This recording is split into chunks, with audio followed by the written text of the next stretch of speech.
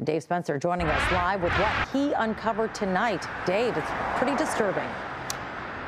Yeah, it's pretty disturbing. It's pretty long. Uh, we're talking about a 34-year-old man from Warren with a driving criminal driving record that stretches back from June of this year all the way back to 2007 and years in between. Time and time again, this man finds himself in front of a judge accused of traffic violations, speeding, even drug offenses, and time and time again, he finds himself behind the wheel of a car. This is what closed the lodge near West Outer Drive at 11:30 Tuesday night. I heard a boom. Never thought in a million years it would be this horrific. State police say a 34-year-old man from Warren was driving a Chrysler Town and Country at a high rate of speed and crashed into this red car. Can't even tell what kind of car it is. Due to the damage, police also did not identify that second vehicle. Secretary of State, though, telling us it was a 2009 Chevy Aveo. A 21-year-old from Detroit was a passenger in that red car and died on the scene another passenger taken to the hospital with critical injuries. Police suspect the driver of the van was under the influence, but he refused all tests. Digging into his driving record, we found at least 21 driving violations, many more if you include his failure to comply with court orders. The 34 year old from Warren first had his license suspended for disobeying a traffic signal in July of 2007 four more offenses in 2008 careless driving, speeding, and driving on a suspended license.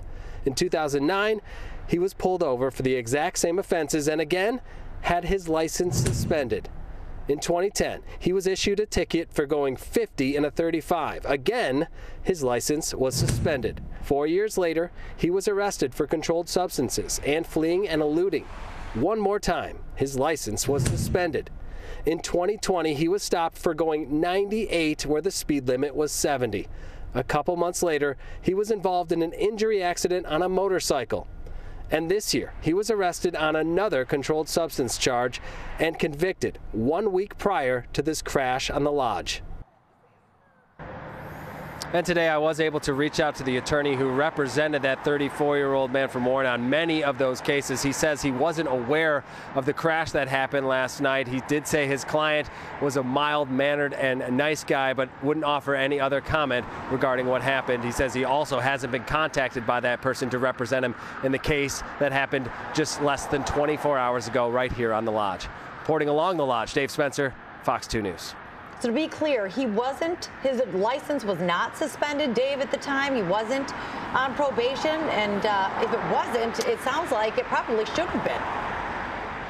Yeah, I mean, obviously, you saw how many times his license was suspended over the years. It was not revoked, so he would serve out the time, be on probation, and again get pulled over, and the cycle would continue. And obviously, what happened tonight, if the man is found to be responsible for what happened, is the horrific tragedy that can result of all this. Yeah, I'm sure a lot of people watching at home believe something needs to change.